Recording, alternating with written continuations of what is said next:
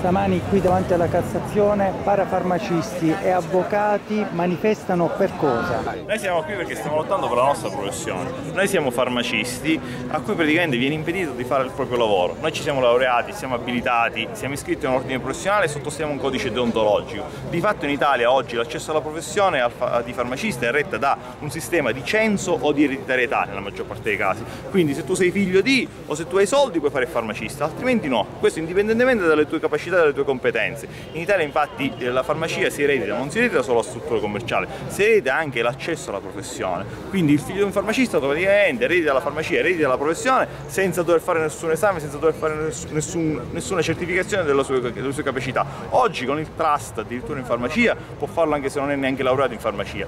Quello che è uscito dal Consiglio dei Ministri di, di oggi, di, di giorno 20, è particolarmente brutto e vergognoso, vi permetto di dire, per noi. Perché da un lato si dice al farmacista che ha aperto una parafarmacia e investito sulla professione, no, tu non puoi, non puoi dispensare neanche i farmaci di fascia C.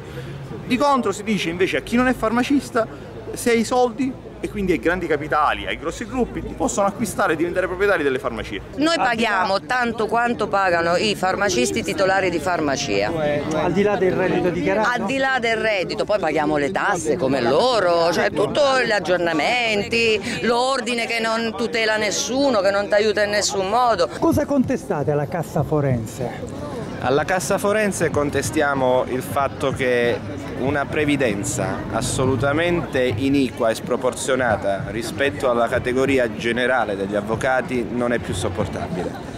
Non è consentito che alcuni colleghi, soprattutto i più giovani, quelli che sono appena abilitati, quelli che si stanno affacciando adesso nel mondo del lavoro, possano sopportare una previdenza che è allo sbando già da diversi anni per colpa di cattive gestioni del passato e che debbano farsi carico loro di una sostenibilità di cassa che oramai è totalmente, totalmente insopportabile. Si parla di 4.000 euro l'anno? Si parla di 4.000 euro l'anno. 4.000 euro più tutto il resto, un avvocato non ce la fa a guadagnare e a sostenere una cosa del genere. Noi chiediamo non di non pagare perché stanno strumentalizzando la nostra protesta. Stanno dicendo che noi non vogliamo pagare, che noi siamo evasori e non è così. Noi vogliamo pagare, ma vogliamo pagare in proporzione a quello che guadagniamo.